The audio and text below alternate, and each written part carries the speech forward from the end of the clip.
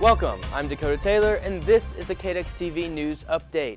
The spring semester has finally begun at Richland, and so have classes in the new Premier Science Building.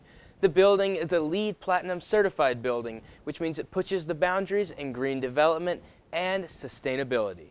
Richland students had more to say about the new building and the start of the new semester. My first day back, actually, I got lost and confused, believe it or not. After four years, I got lost on my first day. I love it. It's comfortable, it's close, and I feel it. You know what I mean? I like it out here.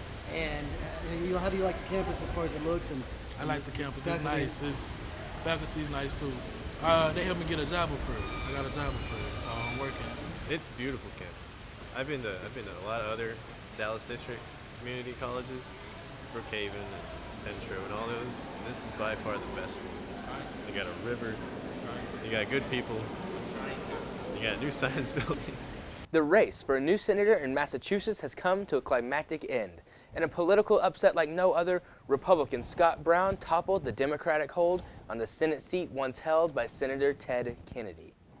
With Brown now fully supporting the Republican push against the health care reform, the political party may be able to roadblock the new bill championed by President Barack Obama.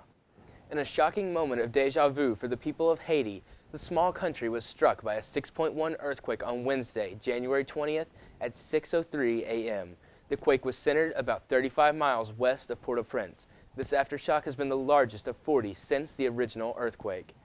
The January 12 earthquake has left an estimated 1.5 million homeless. There have been no estimates on the structural damage or the loss of life since the second quake. Check us out at youtube.com slash kduxtv for more news updates. And if you'd like to contact us with your news tips, email us at kduxtv at gmail.com. This has been a KDX TV News Update, keeping you informed.